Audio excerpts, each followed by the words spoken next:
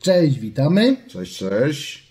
Słuchajcie, taka ważna wiadomość w temacie dekoderów. Jak ktoś nie, nie oglądał, to, to polecamy nasz filmik o dekoderach. I tam było coś takiego, gdzie tłumaczyliśmy, czym się różni DVB-T2 od DVB-T2 Hefc i że trzeba kupować dekodery, które mają jedno i drugie, bo samo DVB-T2 nie wystarczy. I teraz uwaga. Wczoraj w jednym markecie, którego nazwy nie wymienię, zobaczyłem na półce dekodery, właśnie jeden z takich, który pokazywaliśmy te, już prawie rok temu, żeby takich nie kupować, czyli jak najbardziej DVB-T2 obsługują, natomiast Hefca nie obsługują. Leżało to to w promocji za 50 zł po prostu.